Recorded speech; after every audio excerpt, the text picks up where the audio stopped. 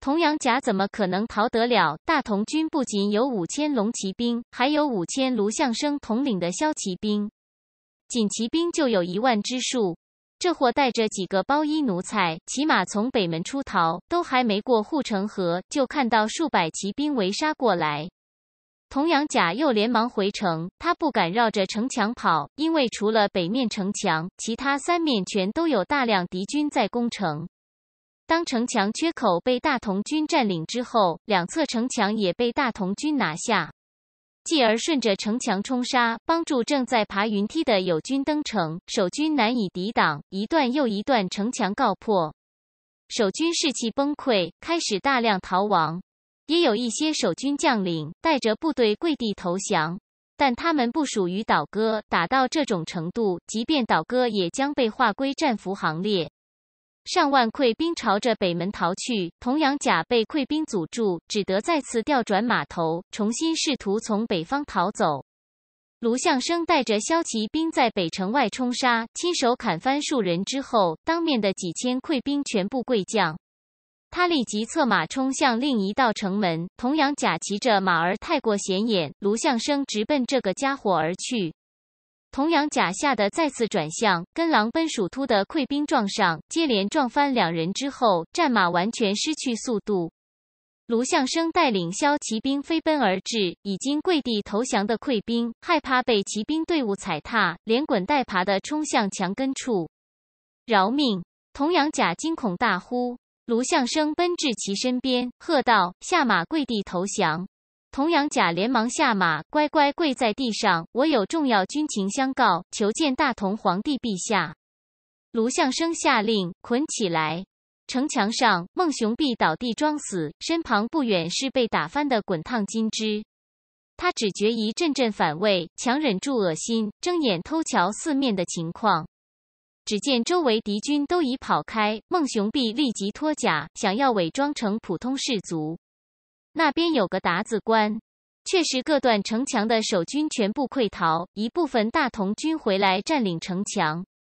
孟雄陛下的魂飞魄散，连忙顺着斜坡离开城墙。刚逃下去，又遇到一群民夫进城。孟雄弼扭头窜进街巷当中，民夫们兴奋莫名，上百人呼喊追击，最终在一条巷道将其堵死。不要杀我，我是汉人！孟雄弼跪地大喊。民夫们嘻嘻哈哈，由于没有绳子，于是纷纷解下腰带，将孟雄弼五花大绑。孙定辽却是躲入民居，城中百姓早被驱逐大半，这个大宅子里没人。他寻找到几件衣裳，脱甲换上，接着又割辫子，可惜后脑勺的头发割不完。半下午时，有一队大同士卒进来搜查。孙定辽先把甲胄扔到井里，接着自己也小心翼翼下井。哦，孙定辽一阵干呕，井里竟然飘着尸体，那是清军驱逐百姓，附带着侮辱妇女。一个女子为保贞节投井自杀，已经死了十多天，早就被井水泡成巨人观，肚子鼓起，如同怀胎十月的孕妇。孙定辽一脚将尸体的肚皮踩破，内脏和秽物全涌出来，那种恶臭让他根本忍不住。井里有人，一个大同士卒喊道。众人围到井边，探入井中查看，瞬间就被熏得缩回脑袋。哦，好几个士卒在井边吐了一地。带队的时常偶玩擦嘴，说道：“扔一条绳子，把人拉上来再说。”让民夫过来清理水井，再立块牌子。这段时间莫要喝井水。赵汉把指挥部搬到城中府衙，三百板甲亲兵已经回来，只有两个受伤，都是被热油烫伤的。幸好只是热油，而非滚油。最惨那个被热油溅入面甲缝隙，摘掉头盔之后，半边脸全是水泡。军医害怕感染，将水泡完全刮掉，还用烙铁来烫死伤口，再用酒精冲洗之后敷上金疮药。破相了，实战如何？赵汉问道。朱由栋回答说：盾牌撞击密集阵型，没有平日演练时那般有用，扩建也砍不破敌军的盔甲。陛下，铁人均可更换钝器，铁剪、铁锤、铁棍这些都可以。盾牌也不要了，双手使用钝器更好。可以。赵汉仔细思索道：“今后改用链锤，双手持的大链锤，即便敌军有盾牌，也可砸击盾牌边缘。带尖刺的锤头可越过盾牌锤击敌人头部。距离拉近之后，长柄链锤不方便挥击，就用手握着铁链去锤人。锤柄尾部也加装尖刺，能破甲那种。来不及转身时，用于向后刺击。”朱由栋认真想想，觉得这种长柄链锤确实厉害。自己握着锤柄，穿上板甲横扫出去，怕是根本没有敌人敢接近。不多时，卢相生带着俘虏进来。陛下，这是韦清的守城主帅童养甲。卢相生说道：“专给韦清造火炮的童养性是此人的兄长。他说有重要军情求见。”赵汉笑道：“辛苦了，坐吧。”卢相生甲胄在身，也不方便坐下，干脆站在旁边。童养甲扑通跪地：“陛下，小人有军情相告，请陛下饶小人一命。”赵汉冷笑：“这个时候还跟我讨价还价？你所谓的重要军情，是不是多尔衮的援兵要来了？”童养甲顿时愣住：难道有谁比他先用情报换命？大同军不但猜到多尔衮要来，退守颍州的第五师也已经在江良的带领下，正朝着商丘方向迅速赶来。即便赵汉没攻下商丘，也能先扎营驻守，等着萧宗贤赶到，再以三个师的兵力跟多尔衮对阵。赵汉扫了童养甲一眼，说道：“拖下去砍了，尸身焚烧，头颅用石灰弄好，派骑兵传首各城，勒令守江县城投降。”被抓住的真鞑子，还有降清一年以上的假鞑子，不必审问罪状，全部砍头传首各城。降清一年以内的俘虏将领全部砍了，底层军官审问罪行。至于被俘的普通士卒，暂时编为罪民，等其他百姓分田之后，罪民才可以分田落户。五年之内，罪民必须给官府免费服役，其本人不得担任公职，但罪不及子女。陛下饶命啊！童养甲都被吓尿了，是真尿了，裤裆湿淋淋的。他是满清文臣，虽然也打过仗，但从来没有阵战厮杀过。童养甲、孙定辽、赵之龙、孟雄弼等人在城外再次团聚，他们被堵住嘴巴，排得整整齐齐，等着被一个个砍头。城墙之上，无数军民观看行刑。每砍一个，就爆发出一阵欢呼声。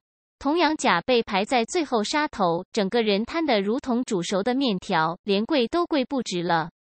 行刑人员无奈，只能乱枪戳死，最后照着尸体把脑袋砍下。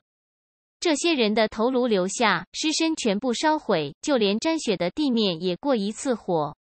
民夫们被组织起来清理城市，特别是水井，里面有死尸的要反复清理，还要撒石灰进行消毒，短期之内不得饮用该井之水。被驱逐的商丘城百姓陆陆续续回家，落籍之后就能领回家宅、店铺。肯定有人冒领，但无所谓，只要不出现纠纷，官府懒得去管，反正城内也需要充实人口，恢复繁荣。城墙缺口处，赶紧用土石重新填起来。多尔衮的援军就快来了，填补缺口，好守城。等敌军士气下降，再决战。战死的大同军士卒、农兵和义军登记造册之后，就地火化成骨灰。山东瘟疫严重，挨着山东的归德府，疫情同样不可轻视。虽然有医生进行防治，但大同军将士已经被感染上百人，义军和饥民被感染的更多。缴获了多少粮草？赵汉叫来负责后勤的军需官，军需官回答还未算清楚，大致估算有两三万石。赵汉舒了一口气，还好敌军没有鱼死网破，在县城之前把粮草烧掉。粮食现在才是最重要的，需要救济的百姓太多，赵汉已经快要撑不住了。即便干掉多尔衮的主力，也没法再率领大军北上，顶多占领山东和河南。至于北直隶，只能派遣小股部队出击，能拿下多少城池算多少。而且没粮食搞移民工作，山东、河南得继续荒着，先就地安置本地的难民。宁陵。带着一堆鞑子和汉奸首级前往宁陵县劝降的龙骑兵，正好跟多尔衮派出的探马撞上。宁陵县守将左右为难，这货手里只有几百兵，其他士兵都被童养甲抽去防守商丘了。南面是刚打了胜仗的赵汉主力，北面是多尔衮带来的数万八旗军，这他娘的究竟该跟着哪边？左右为难之下，守将孤身骑马逃跑，打算带着几百两银子隐姓埋名。爱谁谁。多尔衮得知商丘失陷的消息，而且童养甲全军覆没，顿时气得一言不发。商丘那么坚固的城墙，那么宽阔的护城河，童养甲、孙定辽两个混蛋竟然只坚守了十一天，简直就是一群废物。古代打仗，防守坚城几个月，甚至是一两年，都如同家常便饭。多尔衮给童养甲的任务，只让他坚守半个月，谁知半个月都守不住。一群满清高层停在宁陵县以北，大眼瞪小眼的，不知该说什么才好。济尔哈朗叹气道：“打不得了，商丘城陷落，咱们现在赶去就是打攻城战。如果不能快速破城，敌军就会有援兵，到时候就是咱们被里应外合，前后夹击。”济尔哈朗属于保守性格，皇太极以前多次出兵，他都是持反对意见，因为觉得打起来没把握。多尔衮不说话，他还是想不明白，商丘城咋就没了呢？就算被火炮轰开一个口子，城内那么多守军也能坚持个一两天啊！只要再坚持一两天，他的主力大军就到了。满达海说道：“咱们数万八旗军哪里去不得？”商丘陷落，必是被火炮轰塌了城墙。咱们也有火炮，对着缺口继续轰击，几天时间就能重新轰开。到时候数万八旗军杀进去，对面肯定挡不住的。不要再想了，一路杀过去。济尔哈朗反驳道：“敌军数十门火炮，若是架在城墙上，居高临下跟咱们对轰，你该怎么办？”这满达海无言以对。孔有德忍不住说：“不如在此地布置疑兵，主力去山东，把山东之敌歼灭再说。”满达海说道：“商丘的敌军肯定会追来。”孔有德说道：“追来最好，可以在野外作战，总比去商丘攻城容易。”多尔衮点头道：“此计可行。去山东是假，引诱敌军主力出城是真，咱们就在野外将敌军歼灭。”摄政王，摄政王。呼呼！紧急军情，这是满清的山东战报，本来先送去开封府。得知多尔衮向商丘进军，于是从开封府快马追来。多尔衮打开战报，良久无语，终于缓缓说道：“多铎战死，山东的八旗军已经没了一半。”众人目瞪口呆，以为自己听错了。济尔哈朗吞咽口水说：“十王战死。”难道是有将将临阵倒戈，十王被杀个措手不及？多尔衮摇头，堂堂正正作战，两军兵力相当。若算上将兵将将，多铎兵力还占优。大同、韦同之兵确实厉害的很，不是大明边军可比的。满达海这次也听傻了，他虽然看不起多铎，觉得多铎打仗是个废物。但两军堂堂正正作战，在兵力占优的情况下输掉，大同军的战斗力已经毋庸置疑。撤吧，济尔哈朗说，撤回黄河以北，勒令阿济格也撤出山东，只能防守紧要城池，否则撤得慢了，几万八旗军很可能要被包围。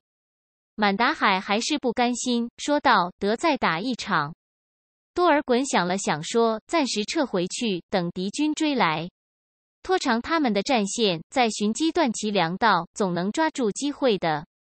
这个主意，济尔哈朗赞成，满达海也无法反对，获得满清贵族的一致认可。他们当天就撤军，撤至陈留时，再次接到军事情报。这次是从辽东发来的军情。多尔衮阅读之后，忍不住揉揉眼睛，再次仔仔细细又看了一遍。敌军打到沈阳城外是什么鬼？那可是绝对的大后方，那可是满清的首都之一，敌人难道是飞过去的？